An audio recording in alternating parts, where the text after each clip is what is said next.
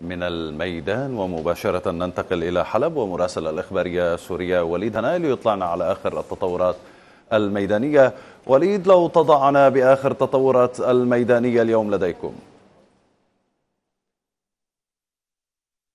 نعم حياكم الله زملائي في استديوهات الإخبارية السورية في هذا اليوم الذي حمل معه منذ ساعات الصباح الأولى تحليقا لسلاح الجو فوق الأحياء الشرقية من مدينة حلب. وهنا نتحدث بأن الجيش يسعى بشكل أكبر عبر تركيز ضرباته الموجعة باتجاه معاقل الإرهابيين مميزا تماما بين المدنيين المتواجدين داخل الأحياء الشرقية والإرهابيين المتواجدين في تلك المناطق. هنا نتحدث عن مظاهرات زالت مستمرة من قبل الأهالي على خلفية آه، منعهم من الوصول إلى المواد الغذائية واحتكارها لدى الإرهابيين. كان يوم أمس حافلا بوصول المدنيين إلى مستودعات الغذائية داخل منطقة بسان القصر والكلاسة وأيضا كان آه، لهم يعني إخراج عدد كبير من المواد الغذائية وتوزيعها على الأهالي وهنا نتحدث بأن انتفاضة جديدة قامت في وجه الإرهابيين في تلك المناطق والأحياء الشرقية في تزامنا مع التخبط الكبير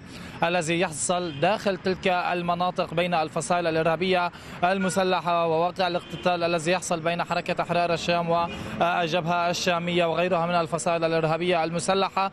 الجيش يعمل بشكل أكبر وهو ما زال متواصلا في عملياته العسكرية باتجاه الأحياء الشرقية لا سيما عبر تسعة محاور هي ذكرت مستمرة من خلال التمهيد الناري مستمر ويأتي باستهداف معاقل الإرهابيين بكل قوة وضربات غير مسبوقة باتجاه الأحياء الشرقية ومستودعات الإرهابيين ومراكز تجمعاتهم التي استهدفت بكل دقة. هنا نتحدث عن سلاح جو يقوم بتحليق مسبوق على مدى ساعة أو ساعة ونصف ويركز ويحكم هدفه من ثم يسدد ويرمي السدد ليحققه 100% إذا العمليات مستمرة الجيش يسعى إلى فصل وعزل الأحياء الشرقية ناريا ومن ثم لوحدات المشاهد وقوات النخبة. النخبة لها الدور في آه، الدخول والتسلل وعزل آه، فيما أوصال المسلحين داخل الأحياء الشرقية ومن ثم تضييق الخناق عليهم وبالتالي يكون الجيش قد بسط السيطرة على الأحياء الشرقية التي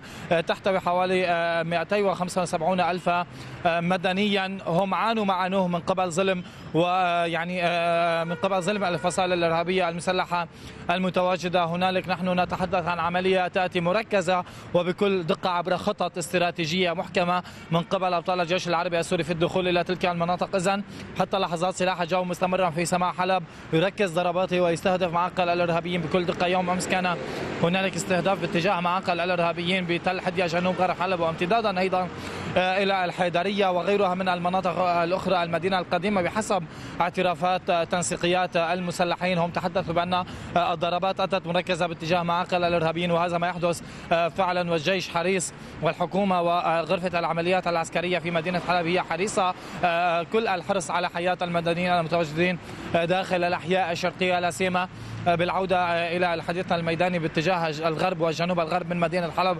فالجيش يسعى وما زال متواصلا عبر عملياته العسكرية وتسديد رمياتها المركزة باتجاه معاقل الإرهابيين في الراشدين الرابعة والخامسة من هذا الخط الممتد باتجاه خان العسل والمنصورة وملاحقة فلول الإرهابيين بعد السيطرة على بلدة منيان وضحية الأسد. الجيش يعمل الآن بتوسيع نطاق السيطرة في عمق الإرهابيين إلى المنصورة وخان العسل وبعد هذه المناطق باتجاه الريف الغربي وجنوب الغرب من مدينة حلب. هذا المحور المرتبط بالخزان البشري آه، عبر الريف الشمالي لمدينة إدلب و آه، يعني سلاح جو آه، يستهدف استخدام استخدامات المسلحين وتعزيزاتهم التي تأتي مرارا وتكرارا عبر ريف إدلب الشمالي المرتبط بريف حلب الغربي. إذا جبهات المدينة مشتعلة الجبهة الجنوبية الغربية مشتعلة بالتزامن أيضا مع جبهة الشمال الشرق من نعم. مدينة حلب باتجاه مدينة ألباب. إذا الجبهات تعمل بكل قوة من خلال قوات النخبة باتجاه الأحياء الشرقية وأيضا الجيش والحلفاء يسعون بالوصول إلى بلدة أو قرية المنصورة وخان العسل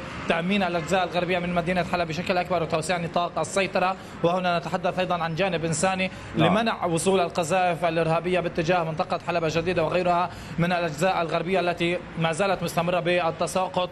وهنالك اليوم كان تساقط لقذائف صاروخية باتجاه منطقة حلب الجديدة. كان هنالك أضرار مادية وإصابات بين صفوف المدنيين. هذا كل ما لدي حتى لحظات على أمل أن نعود إليكم زملائي في استديوهات الإخبارية السورية برسائل قادمة من هذه المدينة مدينة الصمود. العودة إليكم نعم. زملائي في استديوهات الإخبارية السورية.